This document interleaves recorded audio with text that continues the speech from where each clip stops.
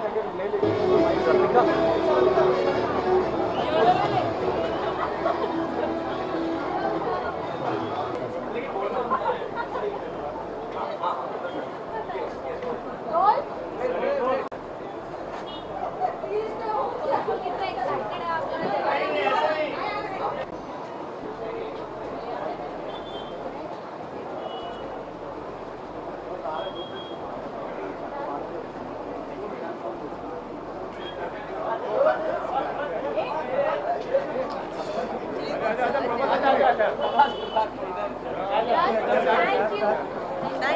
जिस तरीके से उसने डिज़ाइन करा आई रियली लव काफ़ी सारे अवार्ड फ़ंक्शन होते हैं। जी रिश्ते आपके नज़र में क्या मायने रखता है? आई थिंक हमारे लिए इसलिए मायने रखता है बिकॉज़ ऑब्वियसली ये चैनल का अवार्ड है एंड uh, बाकी सारे अवार्ड्स ओवरऑल होते हैं सो इट्स लाइक घर के अवार्ड समथिंग लाइक दैट तो सब मिलजुल के एंड सारी जी फैमिली पूरी Zee family all the other actors from the from different shows and all they are here वो सब मिलते हैं एंड पार्टी करते हैं आफ्टर पार्टी करते हैं अवार्ड करते हैं डांस करते हैं सब मज़े करते हैं। It's like fun it's like family तो जो पर्टिकुलर कैरेक्टर प्ले कर रहे हो कितना फन लगे कितना चैलेंजिंग है आपके लिए?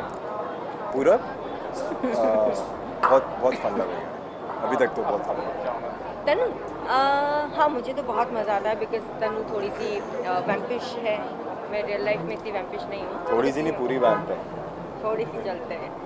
बट हाँ आई लव माई कैरेक्टर तो दस साल में काफ़ी रेवोल्यूशन आया है टेलीविज़न इंडस्ट्री में काफ़ी बड़े बड़े शोज़ हैं काफ़ी कुछ हुआ है तो क्या कमेंट करना चाहेंगे कि कितना पॉजिटिव स्टेप है आई थिंक uh, हम शबी भाई से ही सुनते रहते हैं कि वो पंद्रह साल से काम कर रहे हैं कि पहले कैसा था और अब कैसा है।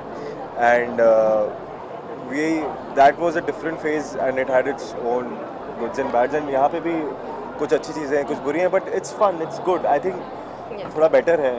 जहाँ तक सुनते हैं हम लोग कि पहले हाँ, कुछ ज़्यादा डे नाइट एंड ऑल हुआ करते थे क्या क्या होते थे। जब मैंने भी काम स्टार्ट किया था it was like eight years back अभी मेरे से पाँच साल सीनियर है। काम में। काम में। एज में तो इट वाज लाइक कि आठ साल पहले आ, हम लोग काम ज़्यादा करते थे। अब थोड़े से रूल्स ज़्यादा स्ट्रिक्ट हो गए तो हम सिर्फ़ बारह घंटे काम करते हैं। तो उस वजह से स्किन भी फ्रेश रहती है हम भी फ्रेश रहते हैं। बारह घंटे भी नहीं करते? बारह घंटे। Thank you thank you thank you